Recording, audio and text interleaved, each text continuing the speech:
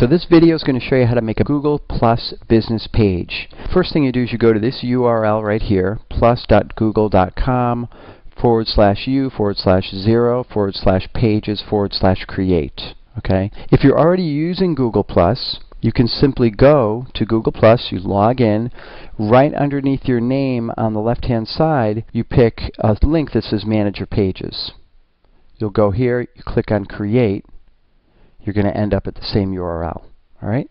So the first thing you do is you select the category. This is going to be local business or place, restaurant, museum, you get the idea. Product or brand, car, electronics, iPod, company, institution, or organization. This is if you have a company, but people aren't coming to visit you as they would a museum or restaurant. Um, if you have those, you would pick local business or place. Arts, entertainment, or sports, and then other.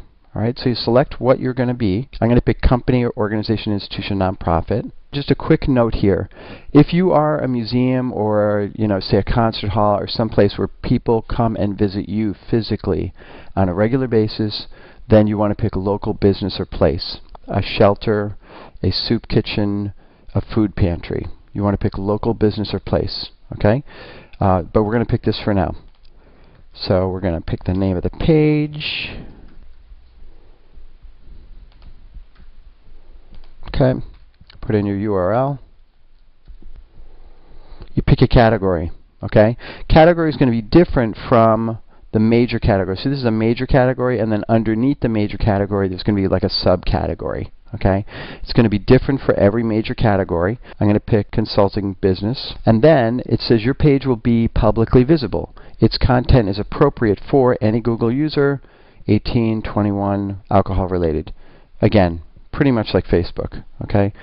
Keep me informed on future page releases. Yes. I agree to the page terms. Yes. Click on Create. Okay. The next step is to create a tagline.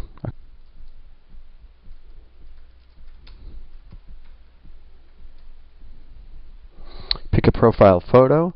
The cool thing here is that you can pick multiple profile photos and when people click on it, it will flip to the next one. Click on change profile photo upload. So I'm just going to upload. I'll pick this logo right here, crop it, click on set as profile photo. Then I'm going to click change profile photo. I'm going to add another one, okay?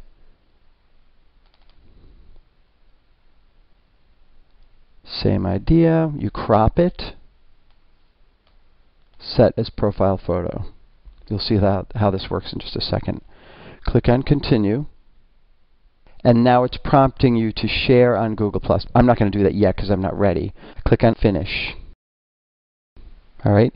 So this is my home page on Google+. Now, what this allows you to do, just like Facebook, you can switch between identities on Google+. So for example, now I'm a company called Joe's Web Stuff. I can simply toggle over to me, John Haydon, my Google Plus profile, or I can toggle over to my other profile that I've built uh, a few hours ago, Inbound Zombie. Okay.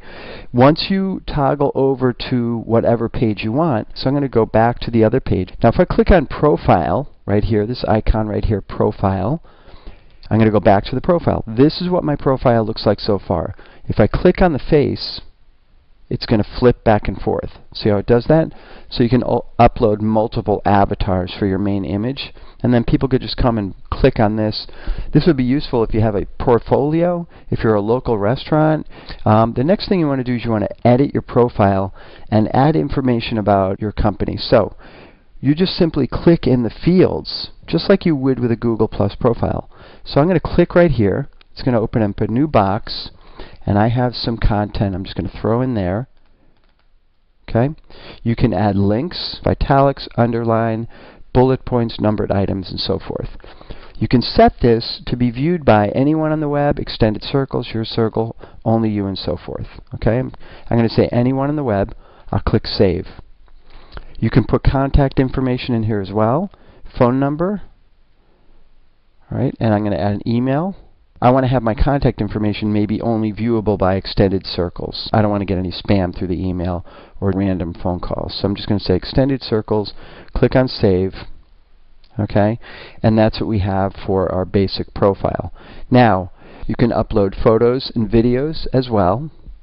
And you can also add photos across the top. I think you're going to fit in about five square photos across the top. So let's take a look at what I've done with the Inbound Zombie Google Plus page. Go back home to the Joe's Web Stuff Google Plus homepage, and I'm going to switch over to Inbound Zombie. Okay? So if we look at Inbound Zombie, this is my stream. I have not published anything yet. And then if I click on profile, we're going to go to my business profile. As you can see, I've uploaded a few pictures across the top. It does look like we can fit a total of five. I have not posted anything yet, but I just wanted to show you how to create the page to begin with. Okay?